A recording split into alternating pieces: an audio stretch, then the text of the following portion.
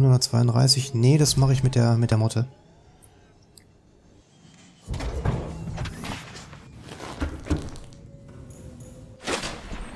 So, eigentlich bräuchte ich jetzt noch ein zweites Tauchdock hier direkt nebenan. Einfach um hier komplett den Verstand zu verlieren. Könnte ich bauen, ich habe die Rohstoffe. Das müsste dann sogar rein theoretisch auch in derselben Richtung äh, sitzen. Aber wenn wir den Zyklopen haben... Oh. Haben wir quasi das zweite Tauchdock dabei, weil in den Zyklopen können wir halt ein Fahrzeug einlagern.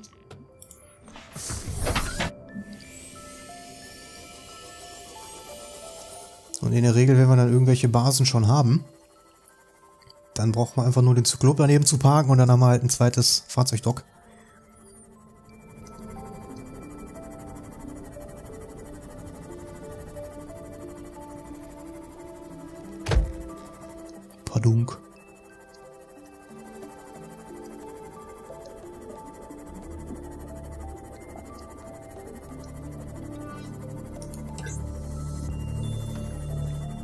Uh, hier geht's aber auch schon runter. Pilzbiom, hallo Pilze.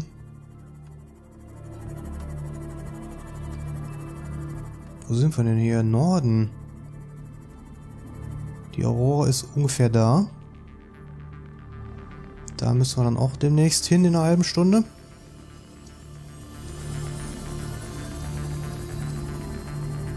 Uiuiui. Ui, ui.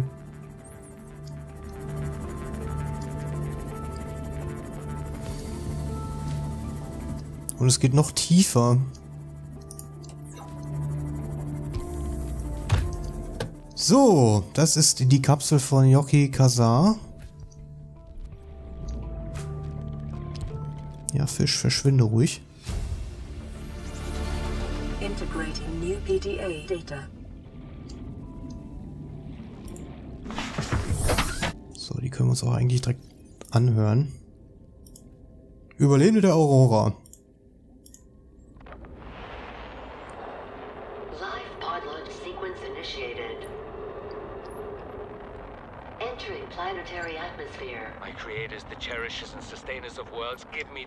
My daily pleasures, as I give to those who seek pleasures from me. External temperature approaching critical levels. Show me the path. In life, truth, and love for mine is the power. I am the one, on and off and on again. Impact imminent. Life is a game which the universe plays with itself. I am done playing as this bundle of flesh.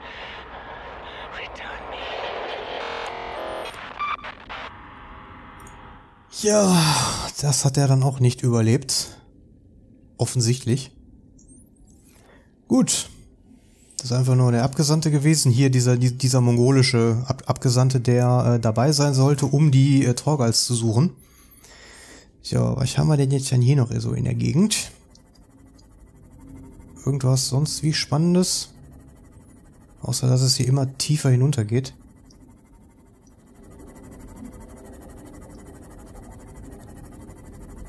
Ponk. Ponk. So, das sind 200 Meter.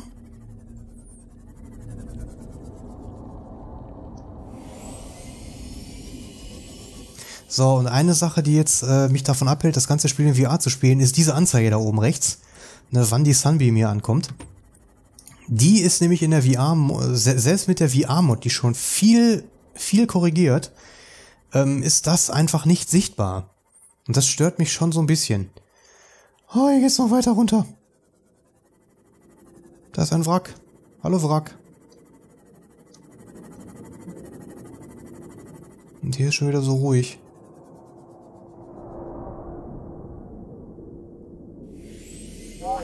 Maximum depth reached. Hull damage imminent. Ja. Ich speichere mal, falls irgendwas Blödes passiert. Detecting multiple Leviathan class life forms in the region. Are you certain whatever you're doing is worth it? Ja, ich hoffe doch. Ich hoffe doch mal stark, dass es das Ganze wert ist hier. Weil die Leviathans, die können einem schon ganz fies gefährlich werden. Zyklopentiefen Modul 1. Sehr schön. Tiefer ist immer gut. We must go deeper.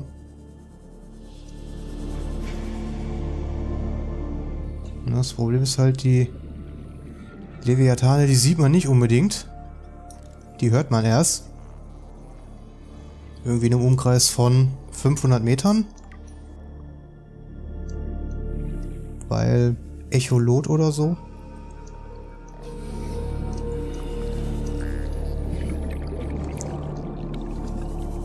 Aber was für ein Glück, dass wir hier die, die Tiefentauchmaske jetzt anhaben, dass wir diesen Bleianzug nicht mehr brauchen.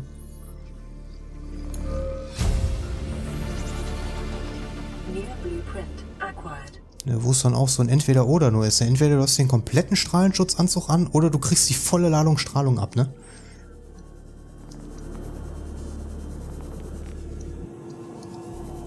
So, komme ich hier irgendwie rein? Bestimmt. Da zum Beispiel.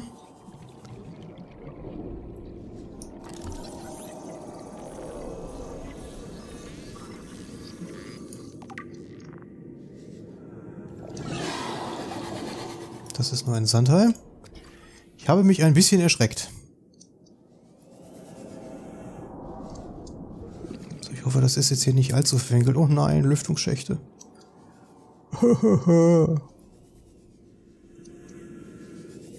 Türen.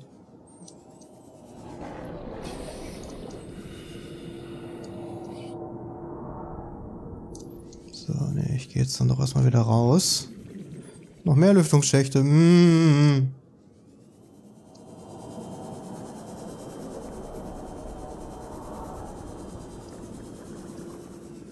Da liegt auch nichts mehr. Dann gehe ich nämlich hier auf die andere Seite.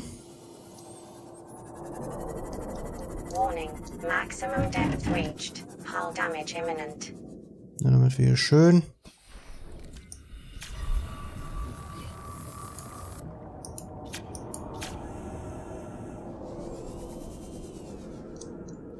Das ist einfach nur nur hell.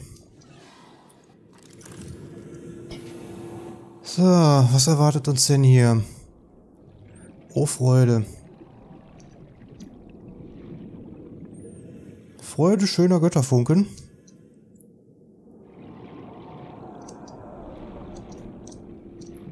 Na gut, das Pfadfinderwerkzeug wäre jetzt hier, glaube ich, tatsächlich nicht schlecht. Hier ist gar nichts. Ist das auch wieder so ein Fall von, hier könnte eine Datenbox sein, aber du hast das alles schon? Hier ist nix. Ja gut, dann kann ich auch hier rauf jetzt und gucken. Kann man bestimmt irgendwo... Ach nee, doch nicht.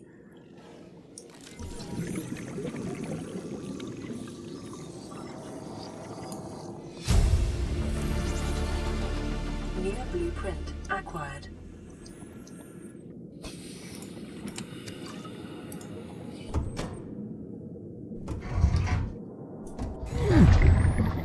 Ja, hallo Tür. Wo sind wir denn da? Wo ist denn meine Motte? Da. Ach, schau mal. Ja, wie praktisch. Gut, gehe ich da wieder rein. Wir haben eine neue Nachricht gefunden.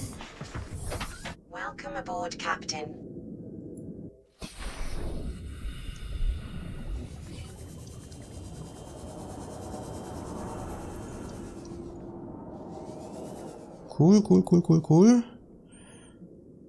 Da ist eine Tür, die wir aufschweißen können. Wo ist es? In der Seemotte natürlich.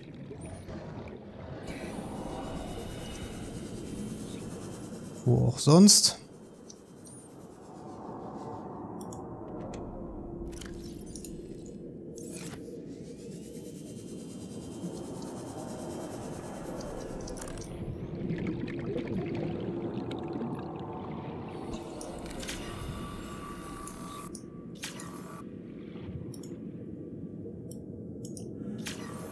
Aufschneiden zum Betreten. Ach, das ist immer noch das... Na, ich denke schon. Oh, dass die Werkzeuge auch alle gleich aussehen müssen.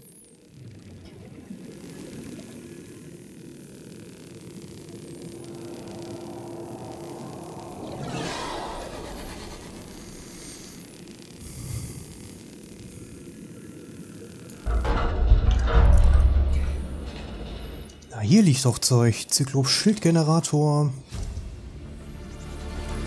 Also Baupläne für... Hm, kann ich die Batterie nicht rausnehmen? Schade. So. Tische. Was zum Essen.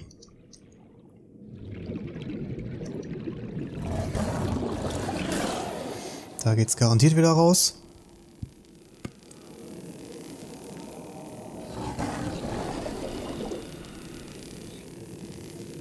Und wenn nicht, dann werde ich umdrehen, weil uns geht die Luft aus.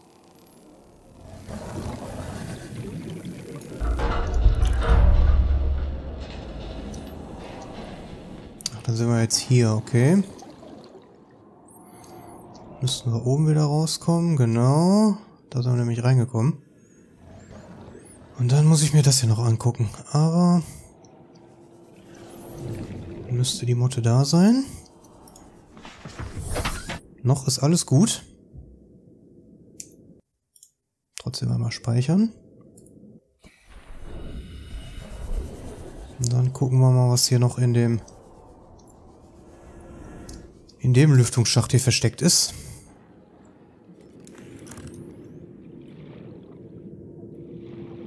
Sackgasse. Blubberblasen.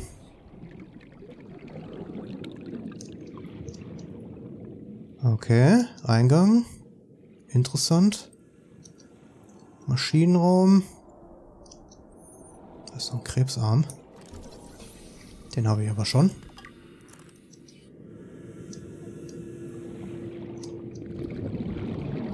Das verschüttet. Da ist nichts drin. Da ist nichts drin. Ich habe das Gefühl, das Spiel ruckelt schon wieder so ein bisschen. Da kommen wir hier bestimmt auch rauf. Hier ist bestimmt noch ganz viel. Nutzloser Scheiß. Okay, Sauerstoff habe ich noch genug.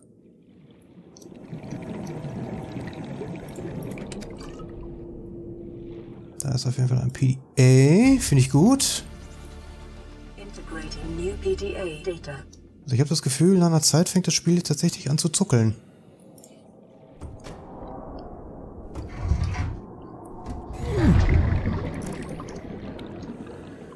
Ah, dann sind wir hier, okay. Gut, dann kann ich mich hier noch ein bisschen umgucken. 135 haben wir noch.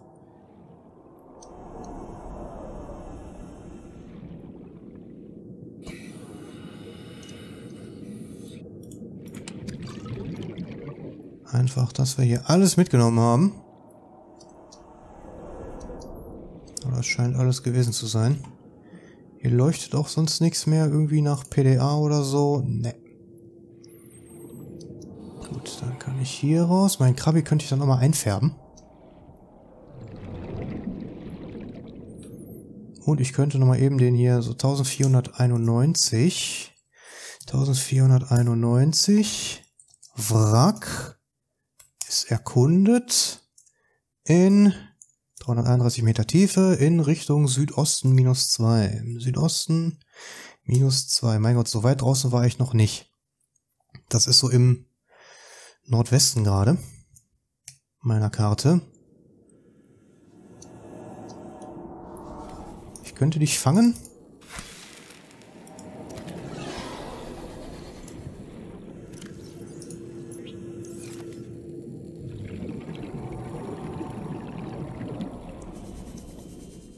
Man hört schon, wie die Viechers hier rumrumoren.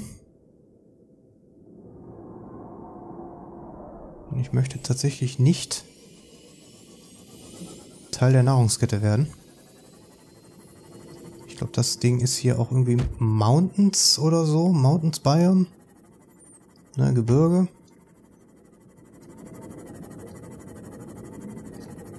Pilzbiom.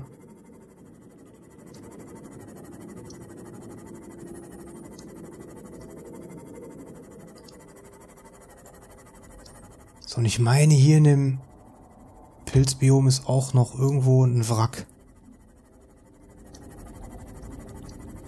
Was man hier finden kann.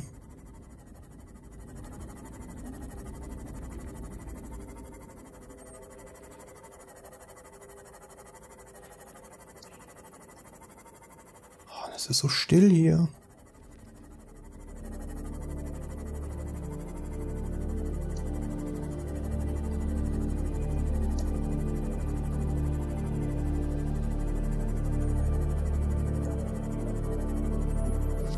So, schnell rauf, wo sicher ist.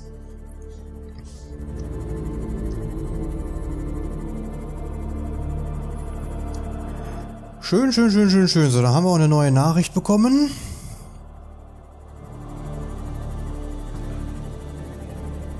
Dann habe ich, glaube ich, noch zwei Wracks, die ich inspizieren muss. Zumindest laut meiner Liste. Ich muss mal gucken, ob das alles noch stimmt. Und dann kommt der Sunbeam-Event.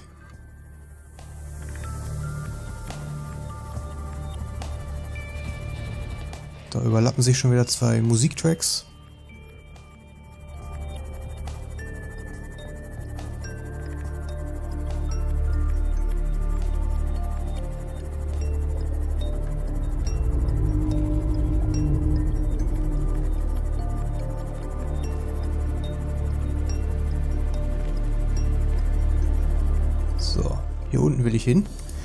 Boah, und du Viech, du kannst dich auch mal verpissen hier, ey.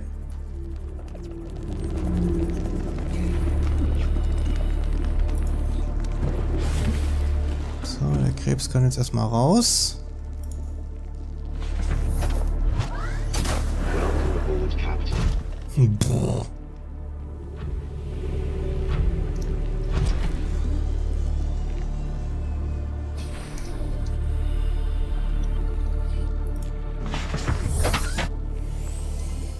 Weil die Seemotte muss aufgeladen werden.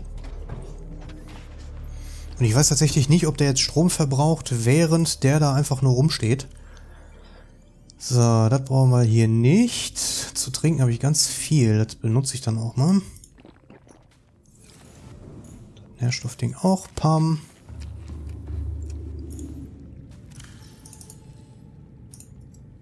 So, Titan können wir wieder einlagern. Wir haben ja wieder Platz.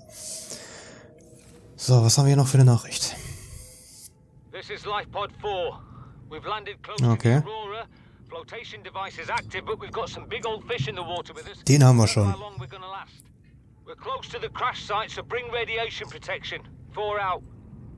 Signal coordinates corrupted.